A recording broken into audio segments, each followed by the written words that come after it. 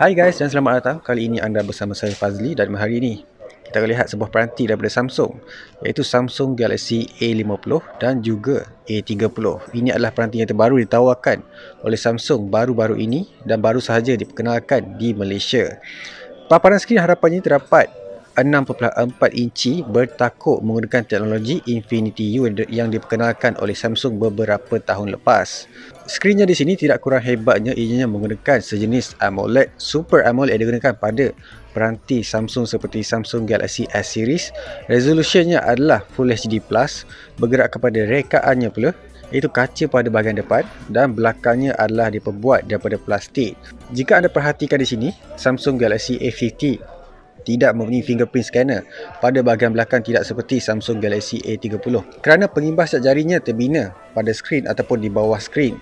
Ini adalah keunikan yang ada pada Samsung Galaxy A50 menggunakan chip pemprosesan Exynos 9610 untuk peranti Samsung Galaxy A50 iaitu menggunakan chip pemprosesan yang terbaru yang menggunakan 10 nanometer proses.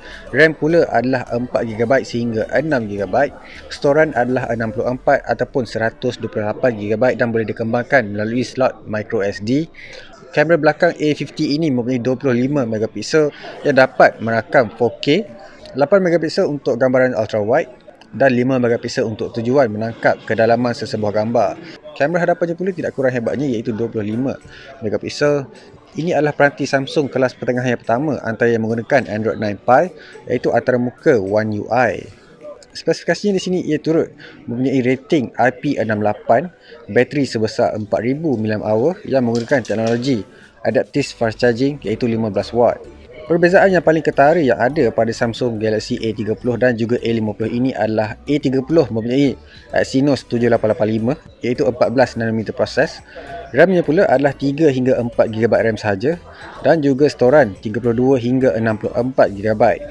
Dan di bahagian belakang pula terdapat satu fingerprint scanner yang tidak terdapat pada Samsung Galaxy A50.